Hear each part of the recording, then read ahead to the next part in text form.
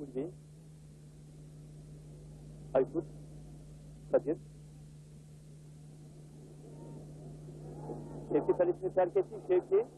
Kale boş. Şenol. Şevki. Ve top ağlara gidiyor. Maçın bitimine 2 dakika kala genç kaleci Şevki'nin tecrübesi çıkıp yumurtadı topta çabuk kalesine dönmeyince Şenol çok akıllı bir biçimde işte gol görüntüye giriyor. Böylesine uzaklıktan çok akıllı vuruyor.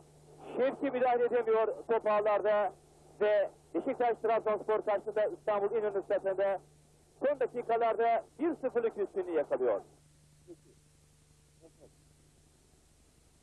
Ali Şevki kalesinden çıktı. Kale bomboş. Ali ve topu ağlara gönderiyor. Beşiktaş Trabzonspor karşısında Ali'nin golüyle 2-0 öne geçiyor. Son 2 dakikada gelen 2 gol. Önce Şenol, ardından Ali'nin golü ve Beşiktaş 2 Trabzonspor 0.